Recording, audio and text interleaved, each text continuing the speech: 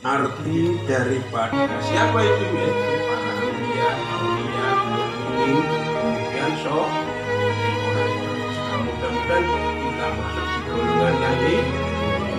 Yang kedua kaumun khalaqahumullah jannati duna khidmati wa hum alladzina asyu kuffaran thumma utima lahum bil iman.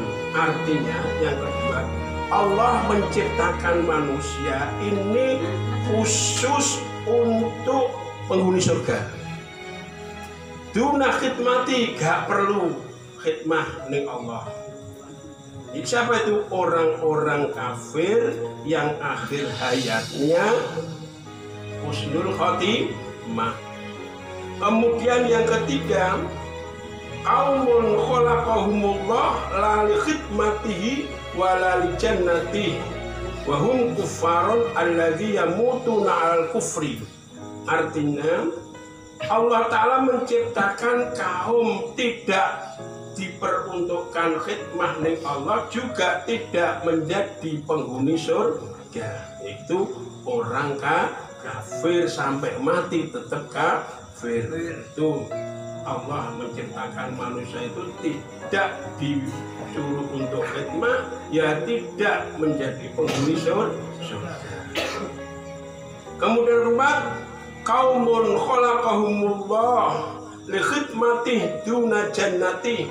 Hum alladzina kanu amilin bi taatillah wa matu alal kufri.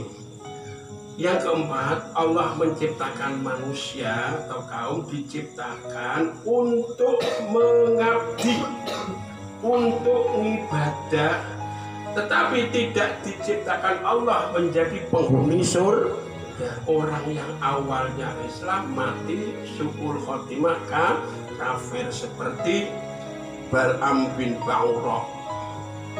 Bal'am bin Ba'ura itu hidup pada masa Nabi Musa orang Madian ahli ibadah ulama juga doanya mandi pasti dikabulkan Allah. Tubar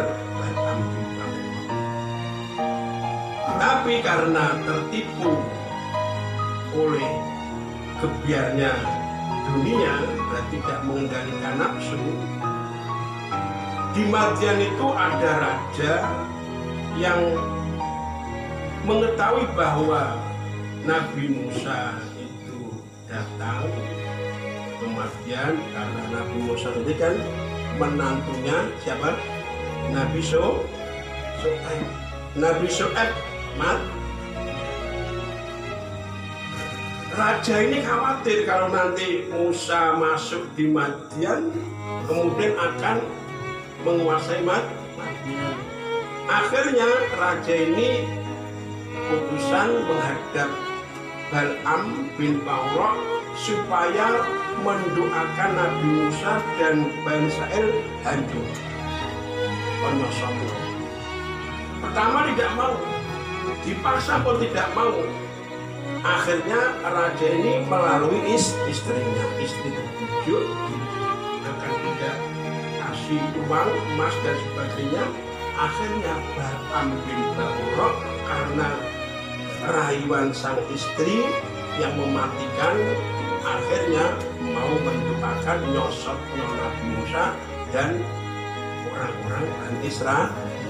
Maka kamu harus hati-hati dengan rayuan wani akhirnya Bal'am doanya tidak dikabulkan Allah mati kafir inilah yang perlu ketahui dan perlu kita perhatikan apakah kita ini termasuk golongan yang kaumun khalaqahumullah li khidmatihi wa li jannati atau masuk kaumun khalaqahumullah li jannati duna khidmati? Kemudian kaumun khalaqahumullah khidmati wa li jannati atau kaumun khalaqahumullah li khidmati duna jannati ya mudah-mudahan Allah Ta'ala menciptakan kita menjadi orang yang khidmah pada Allah dan disiapkan Allah masuk sur surga. Jadi kita harus selalu ingat ma mati.